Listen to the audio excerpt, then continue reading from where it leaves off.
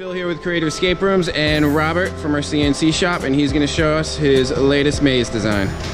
Hi, um, something new here that I wanted to make to be more than just a single game. Um, this could be the centerpiece of any room. Very simple, but a lot going on.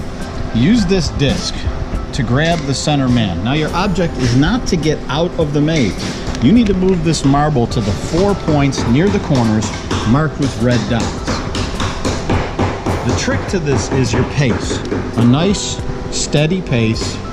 Move the marble through the maze. Bring it to the corner. Take your man away. And ba-bam. Whatever you want can be in any of the four drawers.